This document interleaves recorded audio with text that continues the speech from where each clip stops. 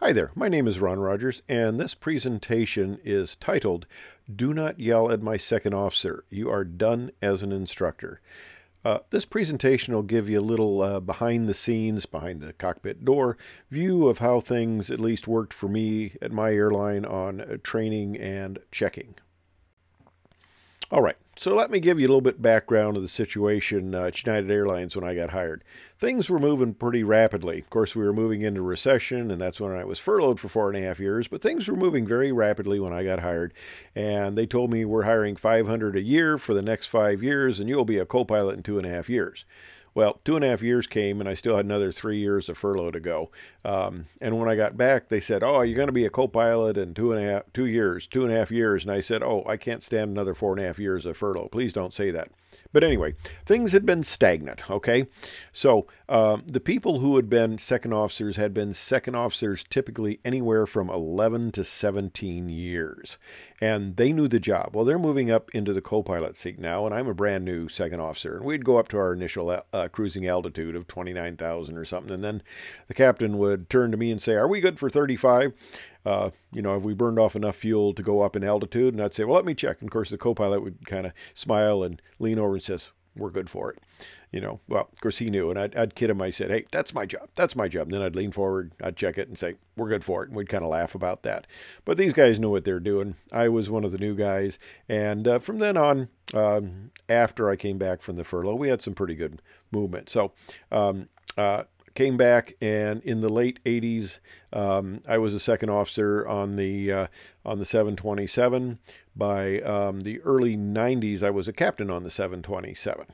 Okay, so that's a little background. So we've got a lot of movement, a lot of new people coming and going. Well, I'm uh, in the co-pilot seat now. I moved up from second officer, and there was a crusty old captain named Jim. He was uh, he was a good guy, but um, he would kind of ride you, and if, uh, you know you didn't know your stuff, he was kind of on top of you, and uh, it could get a little bit oppressive at times. But anyway, I'm the co-pilot, and uh, we've got a second officer back there, and we start hearing in the the headphones kind of a, a, funny uh, sound. You know, you always get that 400 hertz cycle because that's what the uh, the frequency things uh, operate at the generators and that, and they do it to keep the transformers small. That's why the higher frequency instead of 60 cycles. Now, I'm an electrical engineer, so I knew um, kind of a little more things about the electrical panel than probably most people did. But um, we're hearing this noise, and we look back at the panel. Okay, the uh, green arrow goes to the uh, kilowatt, and you press the button and give you kVARs, kilovolts, uh, kilovolts reactive. Um, okay, I'm not going to go into that, but basically, uh, we saw the uh, KW needles kind of moving around a little bit. They'd be going up and down and uh, all over the place. One would go up, the other one would go down. And we thought, hmm, we got a little issue with one of the generators, most likely. One of the generators is is not happy. So, uh, captain says, well, let's let's isolate the tie buses. Okay, you look at the yellow arrow there. Um, that is what ties all the buses together. You uh, you synchronize the uh, generators. This is what the second officer does. It's all done automatically now, uh, if if done at all. Sometimes they keep buses isolated, depending on the aircraft. But anyway, he said, uh, let's strip a bus tie and uh, and see uh, if, if it goes away. And the second officer looked like kind of a deer in the headlights. And the captain said, okay, there's me with the yellow arrow. And he says, and, and, and the green arrow is the uh, generator panel there. He says, uh, he he asked her a couple times to trip the bus tie and just no response. So he finally says to me, he says, "Do you know what I'm talking about?" And I go, "Yeah." And he says, "Do it." So I turn around. So you see where my seat is as as the uh, co-pilot there. I turn around and I trip the number three bus tie. Okay.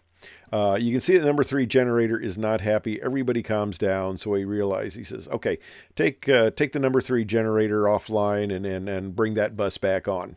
Still deer in the headlights. I know th- there wasn't a checklist for that. You can't really blame her. Um, there wasn't a checklist.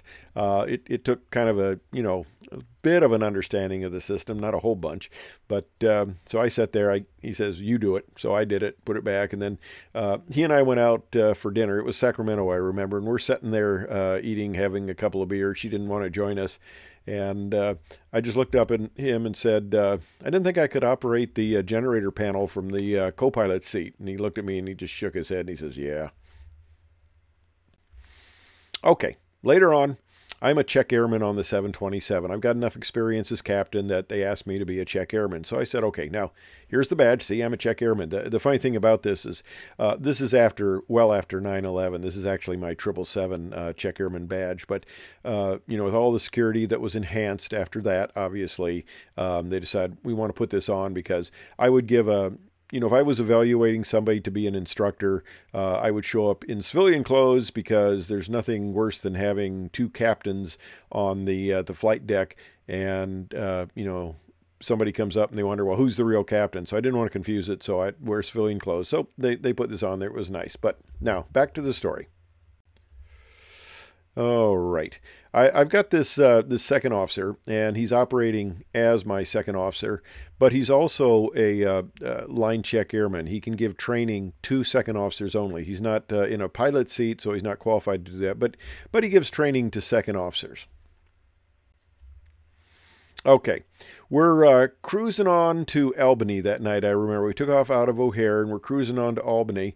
And uh, the flight attendant uh, comes up and she says, uh, "Do you guys want any drinks? You know, coffee stuff like that." Oh, it's kind of funny. Just as she came up, this little yellow light on number three engine comes on. And uh, if you heard some of my other stories about my engine failures, uh, three of them, always number three engine. Uh, I don't know what it's about number three engine, but I was glad I got in the 777. I got rid of that number three engine.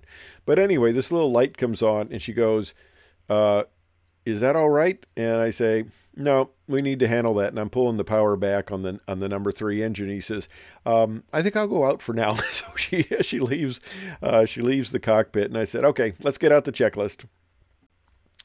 So we get out the checklist. Of course, he's got it back there in the second officer position, and it's low oil pressure or filter bypass light. Well, we don't have low oil pressure, we just have the filter bypass light. And what, what this means is that there could be a problem with the engine. It could be shedding parts, and there's a little filter there. And if the filter gets clogged for some reason, the oil bypasses it. Well, the the bad reason you don't want it to get clogged is that pieces of the engine are uh, coming off. You know, bearings are coming apart, and they're clogging the oil system. So what you do, uh, you go through the little checklist here on the right. And is oil pressure below 35 psi? Well, it's also a low pressure light, so that's telling you you got a problem. And that's a no. So you go there, reduce thrust on associated engine. Well, I'd already do, did that because I, I knew what, what you know what was coming on this, and then did low oil pressure or uh, filter bypass light uh, go off? It did not. So you come up here and he's reading me the checklist. I don't have the checklist in front of me because he has it and it says accomplish in-flight engine shutdown. And he reads that. And I go, no, I don't think so. I, I think that is an option, but we don't have to do that. And uh, I think there's more to it. And he goes, no, it says accomplish in-flight engine shutdown. I said, let, let me see the book here. And it says, or reduce thrust to minimum required to sustain flight. Well, I could have it at idle if, you know, I, I keep that engine running. It gives me a generator. It gives me pneumatics. It gives me, uh, you know, hydraulic pumps, things like that. Anything, uh, anything I would necessarily need off of that engine. So, um, might as well keep it running. Okay. So we head on back we get a new airplane. Um, I make an announcement to the people about, you know, we had to return. And, um, you know, it's no issue because it's really not significant. But I had one passenger come up. Uh, we, we deplaned everybody, got another airplane, plane, and we headed on to Albany later that night. I had another uh, passenger say, well, was that more serious than you let on to us because of all the fire trucks? And I said, well, that's just a precautionary thing. But uh, I don't like to upset people. It's not necessary, and it wasn't in this case. And uh, I hope you I hope you enjoy the uh, the color of this 27. I'm I'm so glad nobody ever wanted this color. This is the uh, Boeing prototype uh, paint job, and uh, no, no, we don't want this airplane this color.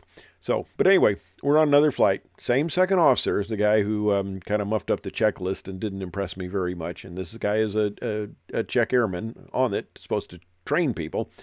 Now we got another issue. We're coming up into Chicago, and we're at about uh, 33,000 feet, somewhere in that range. And all of a sudden, the altitude warning horn goes off. and he's there. He's got his head down. He's he's reading something, and uh, I turn around and I see the cabin altitude, which is to the uh, um, the left of the arrow there, um, all the way on this picture, and it's coming up. It's above 10,000 feet. That's why the horn's going off, and I can see that the uh, the cabin altitude is not climbing at a rate that we would have noticed, but it never um, did the uh, it it never reached what should have been a normal uh, cabin altitude of around 8,000 feet or so. Um, we had an issue, and I told him to silence the horn, and he goes, "What?" I said, "Silence the horn, the horn button, silence it." And he fumbles around a little bit to, to find it, and uh, we don't want this. We don't want the plastic jungle in back because if the cabin altitude hits 14,000 feet, these things automatically deploy. So, okay, we need to get working the problem here. First of all, get rid of the horn because it's noisy. All right, here's the pressurization panel. It's right below uh, the horn cutoff button there, and it's the uh, it's the newer one, the fancy one. And this is some of the aspects about it, the various uh, uh, malfunction lights, like an auto fail light. And you got the, uh, you know, you set the cabin altitude. It does everything automatically. You, you set the landing altitude, and it's, uh, you know, it's it's a real nice system, and it does everything fine. It gives you a few warning lights. Well, um, we didn't have any warning lights on this, which is kind of interesting. But I said, go to the pressurization auto fail light on, okay? Because that, that's a checklist that takes us through the steps. And what you basically do is the system normally operates in auto, okay? Well, if that's not working, then you go to standby. And standby gives you a little more basic control where you can set the cabin altitude. Well, that's not working, and the cabin altitude is continuing to climb. So, like I said, okay, go to manual AC or DC. Try either one. And I had to talk this guy through more of this than I really should have. I said, try manual AC first. Try to close the valve. That uh, the selector knob there in the green is is takes you through the various functions, and the yellow there that shows you the outflow valve, and that's what uh, um, controls the pressurization basically in the aircraft in the cabin altitude. So I tell them to close it with the AC. That valve is not moving. I said go to DC. I mean that's our that's our most back most basic backup situation we have is manual DC, and I said use that. Try to close it. It's not moving. So I said okay, uh, we need to get down. So basically, we went through. Um, the rapid pressurization. It wasn't, but the cabin was, uh, we needed to do an emergency descent. And the funny thing was, I had a deadhead captain uh, back in there, and uh, we started to go through the steps. We put the oxygen mask on ourselves. Um, I got clearance to uh, to go down. We uh, started the speed brakes. Now the 27 is a fast airplane, and it can go down quite rapidly. And, and I made a, a it was over 10,000 feet per minute down, and I've got the speed brakes up, and we're we're going up to the um, you know uh, VMO MMO, the limiting uh, airspeed or Mach indicator on it, otherwise known as the barber pole. But uh, it was funny. I, I talked to the captain afterwards because uh, I never really needed to say anything to the people. Um, I talked to him afterwards, and he thought that maybe I was a commuter and just in a hurry. He didn't realize that we had actually done an emergency descent. And the funny thing was, we get down to uh, uh, 10,000 feet, so I I could keep the speed up. And I looked back at the fuel panel to see how much fuel we had, uh, if we had enough to continue the flight into O'Hare. We were down by uh, Fort Wayne. And I looked up and we had 33,000 pounds of gas on because gas was expensive at O'Hare, so we were uh, doing what was known as ferrying fuel in. If we had enough uh, weight margin that it wasn't going to be a problem, we, we carried fuel in so we didn't have to pay um, the expensive taxes and price in uh, Chicago O'Hare. And so we, we ferried the fuel in. Well, fortunately, we avoided this. We didn't want to do that. But here's an outflow valve. Now this uh, actually isn't off the uh, 27, but um, it's it's a similar operation. This is just a valve that opens and closes, and this valve had failed. Um, the uh, it had stuck, and uh, both motors uh, were deceased. Uh, so there was no way we were going to get pressurization back, and we we came back at the cabin. We came back at 10,000 feet with a cabin altitude basically at 10,000 feet. Okay. Again, I'm not too impressed with this second officer, and I have a little talk with him and stuff like that. And I said, you know, if we have another problem, uh, I'm going to send you back to training because uh, y- you need to know your systems, especially some of the emergency features, better. And if you're going to be a guy who's training, y- you need to know what you're doing. Okay, well, this is where everything came to a head. I've got a second officer who's in training, and this uh, pilot again, the one who had I've had issues with, um, was the instructor checking him out. Now, the gentleman sitting back at the at the panel was a uh, retired military. Um, he was probably even a little bit older than me, but he's back there at the panel. He's a good guy. I mean, very experienced, uh, super super intelligent guy. But uh, this instructor uh, is is actually yelling at him. He's raising his voice and he's yelling at him. And I turn around and I, I, I said to him, I says, okay, you need to respect the individual. You do not yell at him. I said, I've had it with you. You are done as an instructor. I said, um, we get down, we'll land, and and you are done. I had just had it with him, and I um, I'd done a lot of work. I, I had a good uh, reputation. It, it, it, wouldn't really matter too much anyway. I was a line check airman. And I was a captain, so that's sufficient. And uh, I got this guy pulled off his status. So uh, after we got back in, um, I uh, needed to have a qualified second officer sent back, or at least a check airman. I forget which one I did, because uh, we were down in the uh, Miami area. Uh, we went in, had flown into Miami, so I got a, I got another guy. They had no trouble getting somebody down, and I sent this guy back to Deadhead. And of course, I went in and talked to uh, the appropriate people in charge, and he was pulled off status and actually sent back for training. So I was a real pain in the posterior for this guy. Don't really know whatever happened to him, but um, he uh, wasn't going to be an instructor any uh, on the 27 anymore, and I doubt if he ever got into an instructional position after that. And there's my last flight out of Maui, the water cannon salute, got a little rainbow there, and uh, ended my career after 25 years as captain. Uh, never killed anybody, never been an airplane, and uh, had a had a great time. Thanks for watching. I hope you found it informative and enjoyable.